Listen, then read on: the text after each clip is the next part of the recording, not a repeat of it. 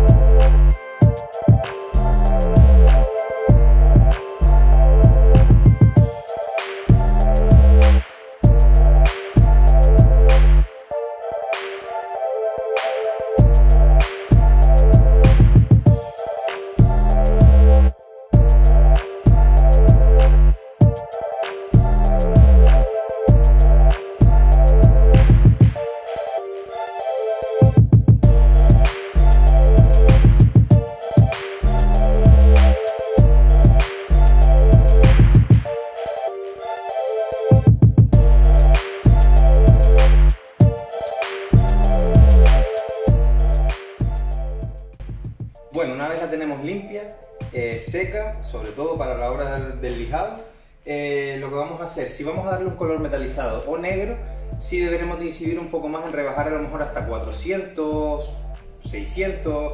¿Por qué? Porque nos va a cantar mucho cualquier desnivel, cualquier fallo, son muy chivatos esos colores. No es mi caso, mi caso va a ser un color liso y no va a ser negro, así que no es el... no tengo problema. Ahora voy a coger un estropajito rojo como aquel y le voy a dar a todo a dejarlo matizado, que casi ya limpiándola se quedó casi matizada en cierta zona. Pero bueno, vamos a dejarlo como tiene que quedar y continuamos.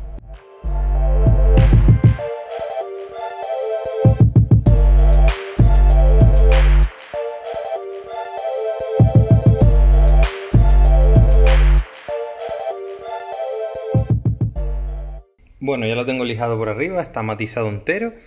Hay zonas, es verdad, que no llega a entrar la lija por mucho que quiera, en recovecos muy chicos, pero bueno, no tenemos problema.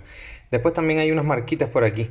Se podrían arreglar, pero como bien marca esta línea, es la tapa de aquí la que causa el problema.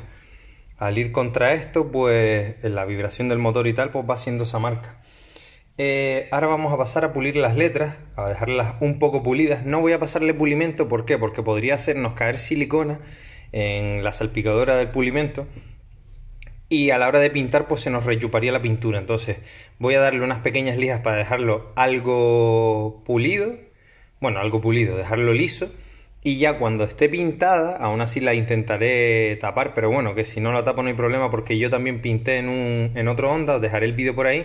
Y a lo último pasé el cúter, le retiré la pintura como todavía estaba de un día de secado o algo así. Y al estar pulido pues no se agarraba bien la pintura. Pasas la lija y cuando ya está seco seco vuelves a pasarle otra lijita fina, ya pules y no tienes problema de dañar lo que es la estructura ni el tema de la pintura. Así que nada, vamos a pasarle unas lijillas a eso y comenzamos para tapar ya todos los agujeros para darle el fondo blanco.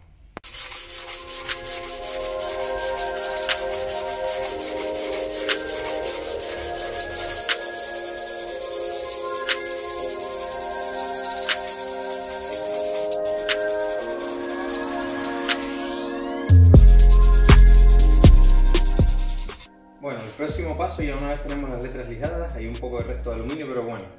Yo tengo desengrasante, lo tengo aquí porque se me rompió de un bote y lo metí aquí dentro.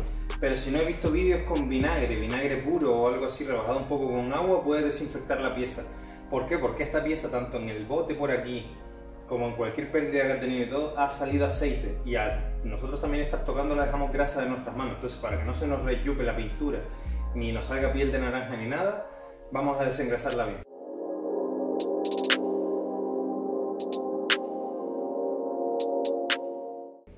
Bueno, ya tengo la tapa lista. Aquí solo tapé lo que era el interior porque va a la tapa encima y no se va a ver si entra un poco más.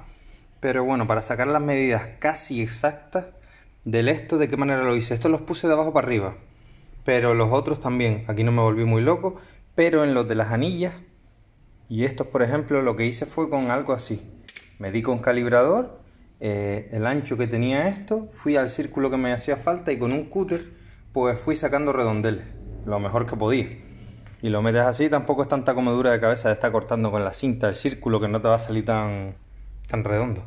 Así que nada, eh, preparé esto así rápido para darle fondo, ya que el fondo tampoco es una pintura como la otra, que la otra pintura sí, donde caiga mancha, ahí sí voy a tener que empapelar un poco más esto, pero nada, vamos a darle.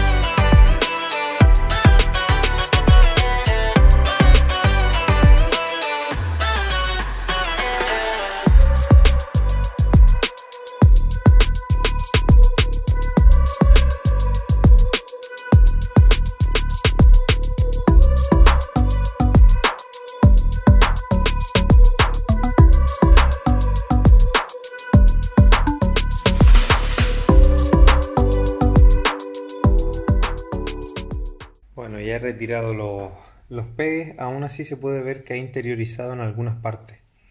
Por el tema de cuando quitas la cinta. ¿Por qué? Porque no está ni curado del todo ni está mojado del todo. Entonces ya la pintura estaba empezando a cujar y por eso al retirar la cinta se viene un poco para adentro. Pero nada, eso no lo podemos arreglar cuando ya esté seco del todo con un cúter. Perfilamos un poco por el borde, que lo haré seguramente, no sé si lo grabaré y se nos queda se nos queda perfecto. Y lo de las letras también, lo de las letras voy a esperar a, que esté seco completo del todo. Ahora le estoy dando un poco de calor aquí con una máquina y como comenté, en dos días más o menos es cuando ya voy a, proceder a repasar todo esto. Donde van las bujías no lo quite porque eso está pegado de abajo para arriba, así que no hay problema. Y el que está pegado por debajo lo mismo. Lo puedo esperar a quitar cuando ya esté seco del todo y pasarle un cúter si se queda algún reborde como se está viendo por aquí con la cinta si se queda la cinta dura así pegada, pues no, no tenemos problema. Así que nada, nos vemos en dos días. Bueno, ya llevo un par de días. Eh, lo que vamos a hacer es repasar para dejar ciertas zonas bien. Tampoco nos tenemos que complicar mucho porque como van a ir los tapones encima, pues tampoco, tampoco se va a ver tanto, la verdad. Pero bueno, repasamos, intentamos dejar lo mejor posible y le quitamos estas las letras para pulirlas un poco.